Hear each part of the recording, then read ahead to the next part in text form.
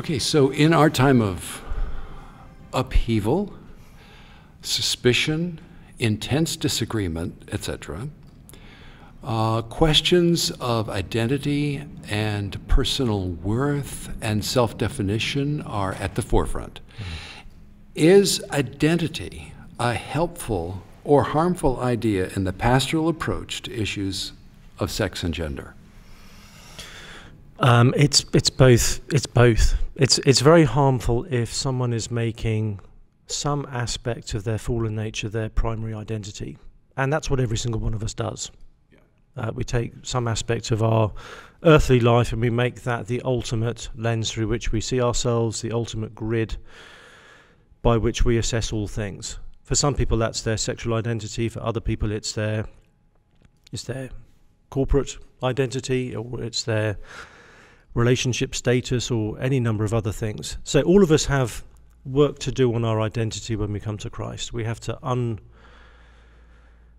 we have to deconstruct the identity we had been finessing over the years and allow God to define who we are. Now, where I think identity comes in helpfully pastorally is that the New Testament ethic, I think Kevin DeYoung has summarized this so helpfully in his book on holiness. The New Testament ethic is be who you are. And who you are has now changed. Mm-hmm. So be who you now are. So, you know, Paul talks in Ephesians 4 about taking off the old self and putting on the new self, which is amazing, isn't it? We've got a new self. Yeah. If we're going to be true to ourselves, which self yeah. are we going to be true to? And which self is the most real? Sam, why is it so hard for us to believe we have been made new? Well, for myself, it's because the, the old self hasn't left the building yet. And I feel His presence daily, um, continuously. Yeah, and it, it's what we've we've trained ourselves for many years to to be like, and so Paul always seems to suggest that there's a there's a mindset shift that has to happen before we attempt to live out the Christian life. Um, so he talks about, I think I'm right in saying the first explicit command in Romans is consider yourselves dead to sin.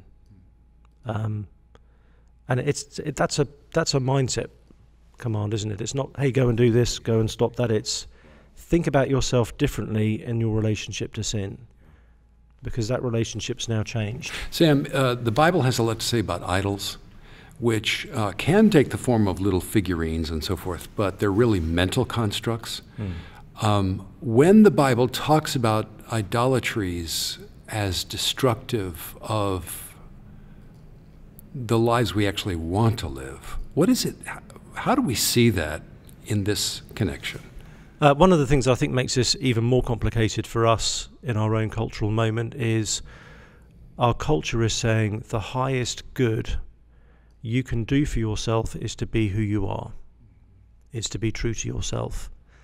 And so there is this enormous cultural pressure to discover who we truly are and search within and find out who we are and then that has to be expressed that has to be lived out that has to be celebrated by everybody else and so that the gospel is critiquing the thing that our culture most prizes and so it's likely to be one of the things that, that we're going to be least resistant to have changed within our hearts is that deep sense of who we are that we've been trained by our culture to assume is wonderful and needing of expression and acceptance.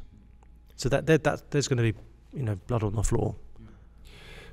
But of course, in Romans chapter 1, when Paul speaks of false worship and idolatries, he's talking about simply an excessive identification with and attachment to good things, good God created things. Yeah. The Sam Allberry standing here, the Ray Ortlund standing here, are good God created realities. Um, the idolatry enters in when we don't look higher. Hmm. And we're going to look for finality within ourselves hmm. or between ourselves. But we were never designed to generate our own finality. And if we try, we end up so disappointed and angry. Yeah. And then, then the next domino that falls is we have to take that out on somebody. Somebody's going to pay for my pain. Yeah. And then society suffers. Yeah. So idolatries don't work, but not because of some alien, forced, arbitrary imposition laid upon us, but because of the the own uh, the the internal energy of the impossibility we're attempting. Yeah. I had a friend in California who was instrumental in founding the hippie movement of the uh, late 60s, so of course he was one of my heroes. And uh, he said he smoked a lot of weed. He was living, you know, the great life. And he said, All my life I've tried to sin without feeling guilty. Now, when I sin and I feel bad about it, I realize that's actually the love of God entering my heart, correcting me, telling me I actually matter that I have something worth living for. It feels good. Correction of our idolatries is not the demolition of good God created reality, it's the realignment and liberation of our good God created reality. Absolutely.